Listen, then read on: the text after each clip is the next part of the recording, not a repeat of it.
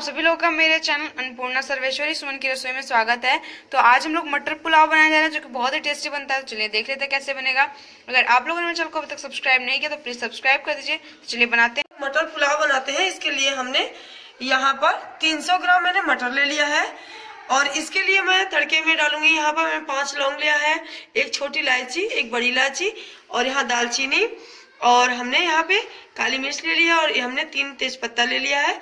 और यहाँ पे खड़ा लाल मिर्च हमने चार ठो लिया है और हरी मिर्च तीन ठो काट लिया है। और यहाँ पे हमने देसी घी ले लिया है।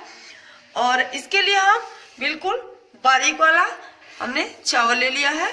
और ये बासमती तो नहीं है लेकिन आ, उसी कैटेगरी का आता है चावल लेकिन ये बहुत बारीक और बहुत सुंदर चावल इसका स्वाद बहुत अच्छा आता है तो हम लोग इसी से पुलाव बनाएँगे।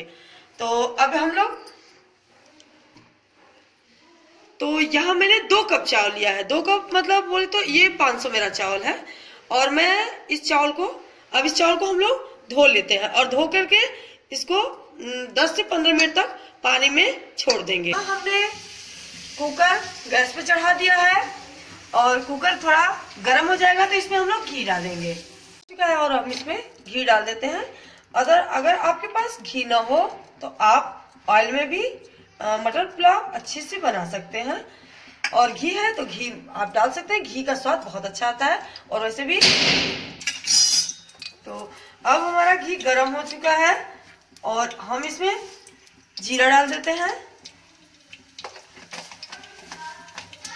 अच्छे से डाल चुका है। इसमें हमने लौंग डाल दिया है।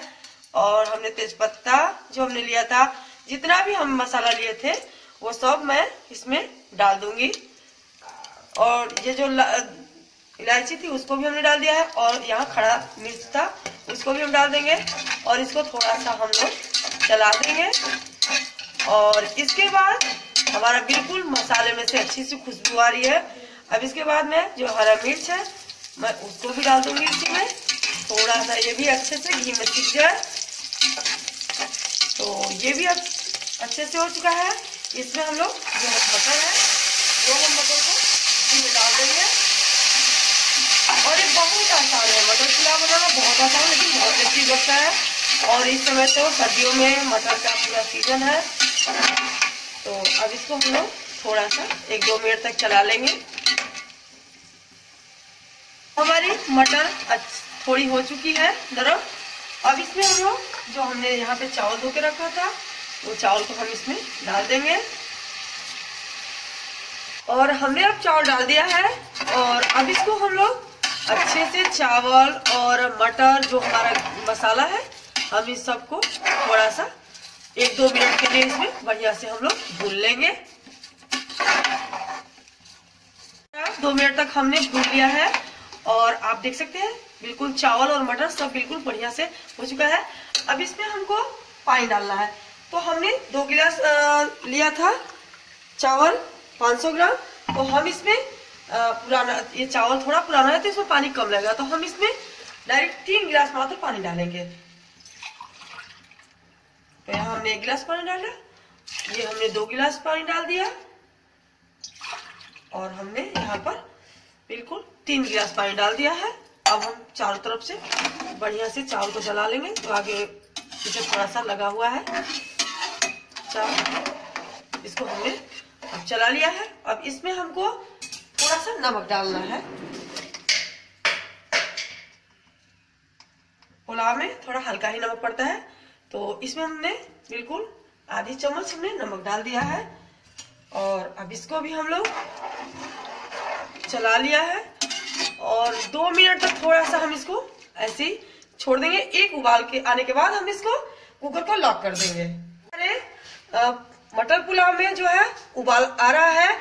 अब हम कुकर को बंद कर देते हैं। और बस एक सीटी हम लगाएँगे। और एक सीटी लगाने के बाद हम कुकर को खोलेंगे। तो हमारा पुलाव बिल्कुल बढ़िया सा है। और अब इसको हम लोग उतार देते हैं। और इसका मैं प्रेशर अब हम कुकर खोल के देखते हैं। तो हमारा पुलाव तो बहुत सुंदर बन गया है। और इसमें से खुशबू बहुत अच्छी आ रही है। तो अब हम लोग इसको अच्छे से मिक्स कर देंगे। देखिए, बिल्कुल बढ़िया सा पुलाव बन चुका है हमारा। मटर पुलाव बिल्कुल बढ़िया सा, एक अच्छा सा इसमें खुशबू और बहुत ही टेस्टी इसका स्वाद भी आएगा। मटर पुलाव को बर्तन में निकाल लेती हूँ मैं यहाँ पे। और ये बहुत ही इसकी अच्छी खुशबू आ रही है और एकदम झटपट बन जाने वाला रेसिपी हमारा पुलाव तैयार है। तो आप लोग भी ज़रूर इसको बनाइएगा और बनाने के बाद ज़रूर कमेंट करके बताइएगा कि आप लोग को हमारे बनाने का तरीका और पुलाव कैसा लगा। तो यहाँ हमने इसको निकाल लिया है।